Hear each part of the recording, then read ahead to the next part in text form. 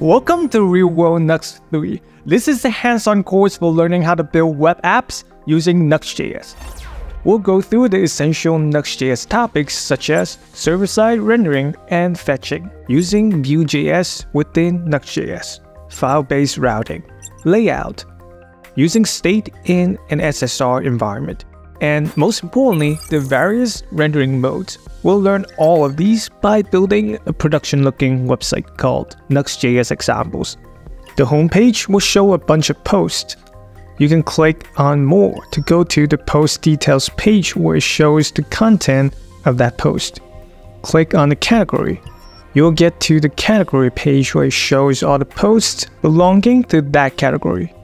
Click on the categories link on the navigation bar it will go to the categories page which shows a list of categories.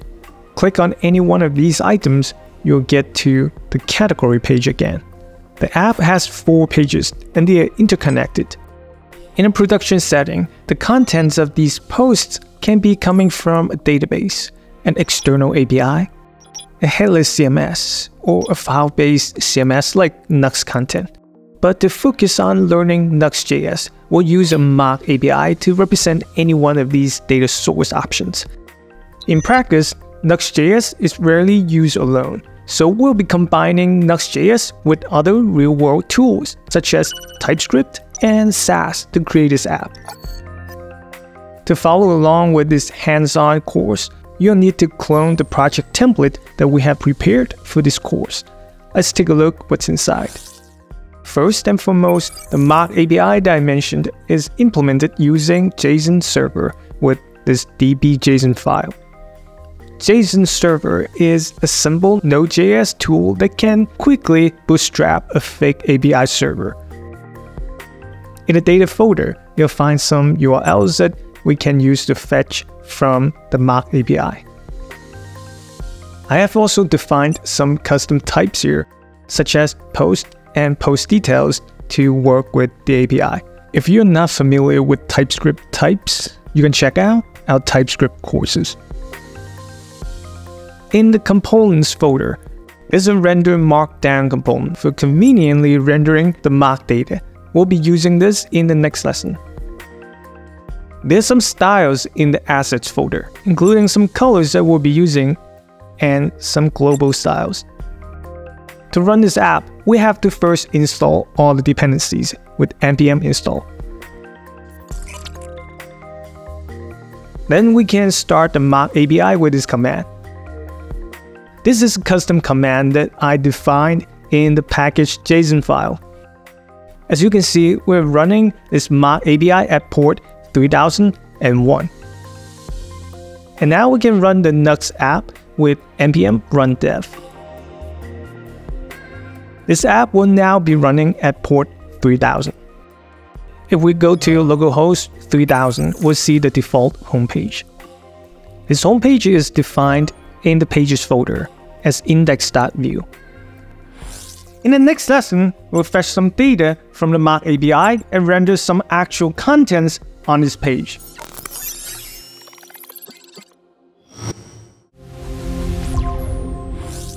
In this lesson, we'll take a look at the main feature of Nuxt.js, server-side rendering, SSR. SSR allows an app to fetch data and render the components into HTML on the server side. This will create a faster loading experience as the components don't have to be loaded and rendered on the client side before the user can see the content. Now let's see how that works in the code. The project template already comes with the function to fetch a list of posts. We'll use that in the homepage. We're going to call the function using the await keyword because it returns a promise object, so we're unpacking it with await. Before we render the post, let's set up a main element to wrap the page content. Change the heading to Nuxt.js examples. We're going to need a div in here. This is where we'll render the post. We'll render another div in here with v-for, post in post, and a key binding. And for each post, we'll render just an h2 heading with the post title. Let's make sure they're showing up in the browser. if you check the Source tab on the Chrome DevTools, you can see the actual HTML that gets sent from the server. This confirms that this page was rendered on the server.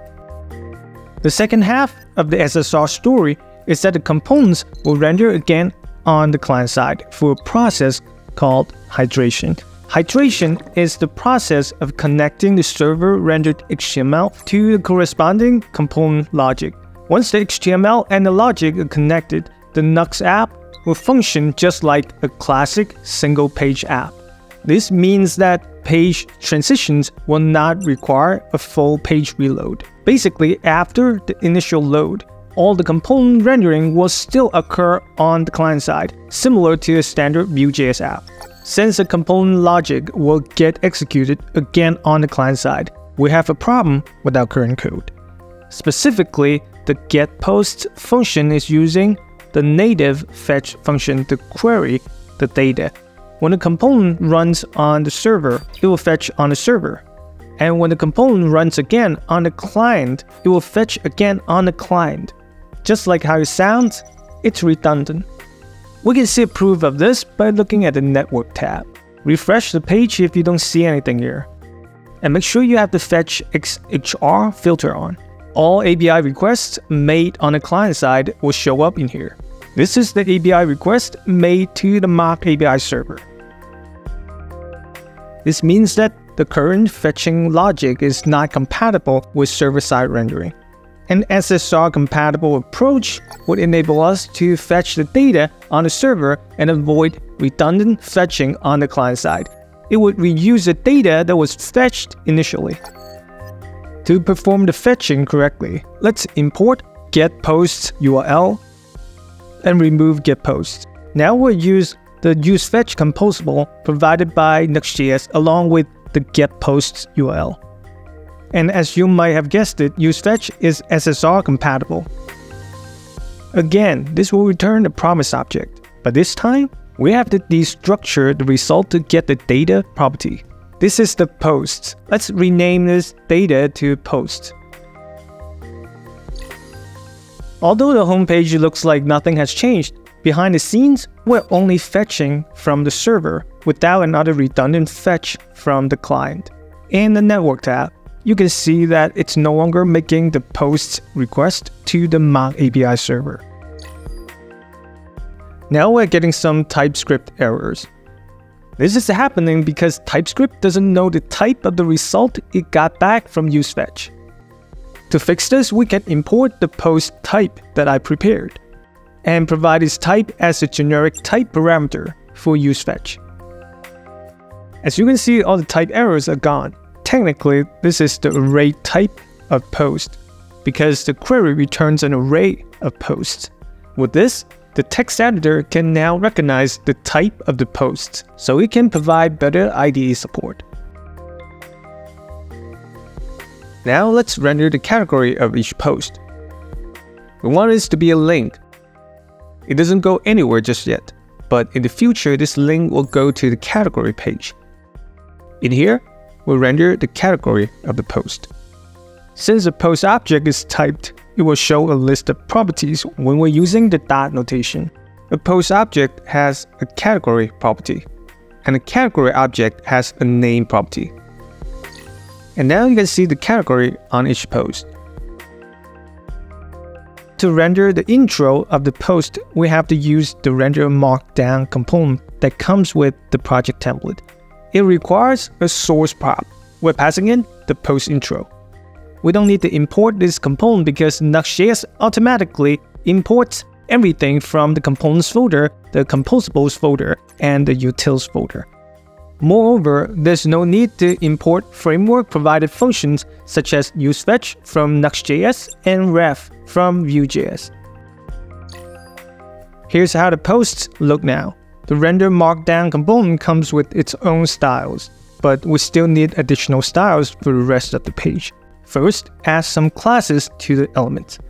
This is card, this is title, and this one is category. Now let's add some styles. We need a style tag that is scoped and it's SCSS for Sass. Since we'll be using the colors, we need to import them with use. Put some padding, border, and margin around each postcard. Set the font size for the title and the rest of the content in the card. Finally, add some margin around the category. Now it looks a bit better. We'll continue to work on the homepage in the next lesson. Specifically, we'll improve the UX by creating a hovering effect on each item with the help of ref and events from the standard Vue.js API.